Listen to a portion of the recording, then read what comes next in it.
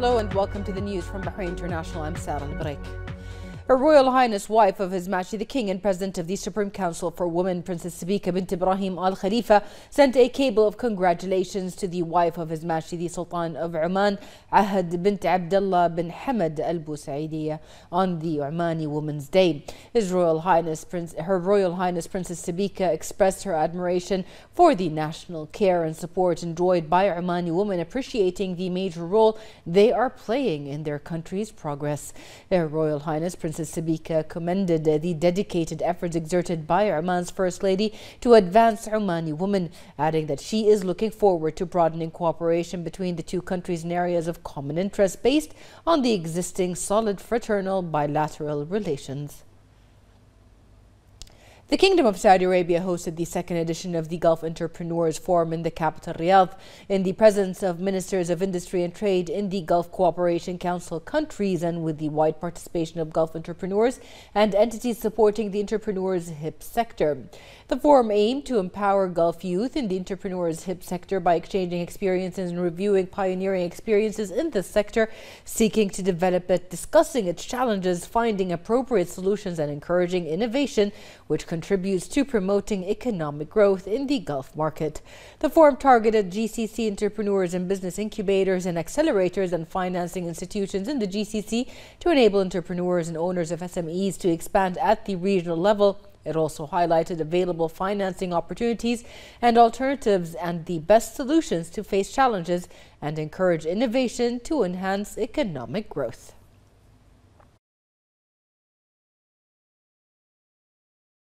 Bahrain joins the world countries in celebrating International Day of the Air Traffic Controller. It's also a day to learn more about the profession of air traffic controller.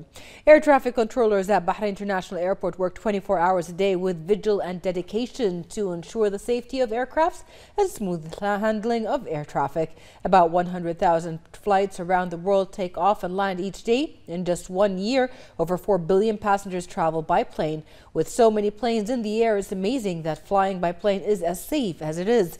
The safety of air traffic is largely attributed to air traffic controllers. The job of air traffic controllers is extremely difficult. Their job requires intense concentration.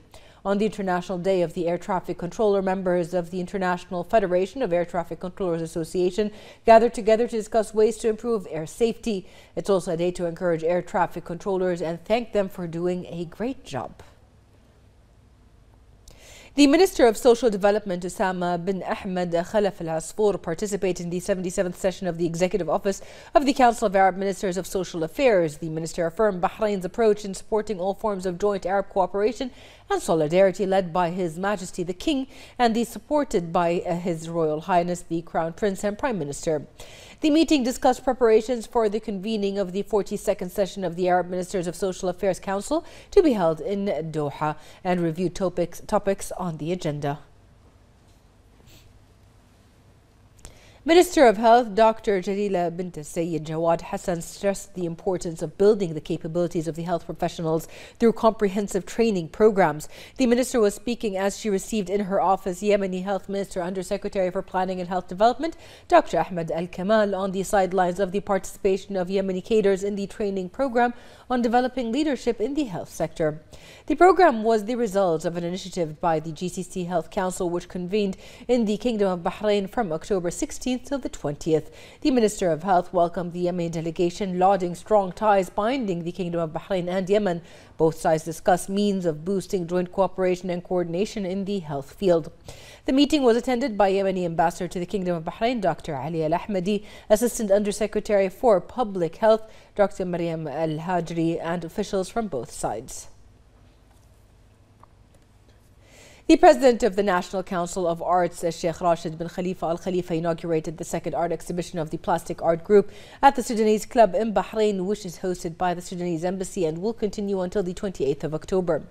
This exhibition also includes a collection of wood carvings and abstractions that the, the exhibition aims to introduce Sudanese culture in the fields of plastic arts in its various schools and to consolidate the role of plastic arts, in particular in raising aesthetic awareness and human values in general.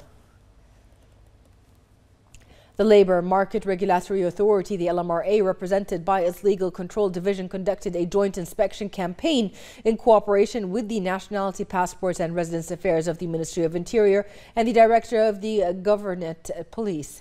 The campaign also resulted in reporting a number of violations related to the provisions of the Labour Market Regulatory Authority law and the residency law in the Kingdom of Bahrain, as procedures were taken in accordance with the legal mechanisms in place. LMRA stressed its keenness on continuing joint inspection campaigns with the relevant government bodies across all governorates of the kingdom in a bid to develop the work environment and firmly confront illegal practices.